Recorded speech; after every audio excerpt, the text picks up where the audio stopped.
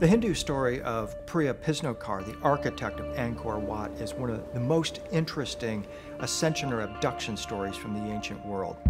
In the myth of a non-human female, Sota Chan, came from Indra's heaven and married a human being and gave birth to this child. As a young child, Priya Pisnokar would play by drawing complex designs in the sand.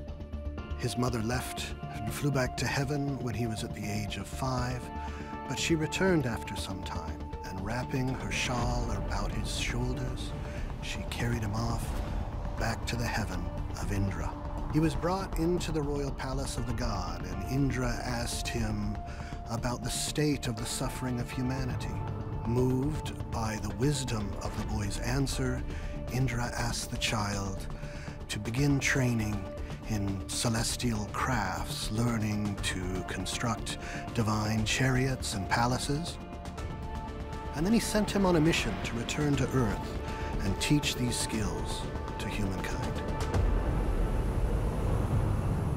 Priya Prishnakar is the name that is given to this divine architect.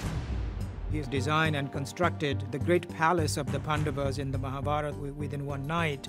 Uh, he was also credited to have designed, to have supervised all these great buildings of uh, Southeast Asia.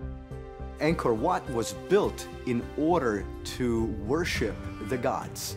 So one has to wonder why such a magnificent layout was chosen and what does it mean?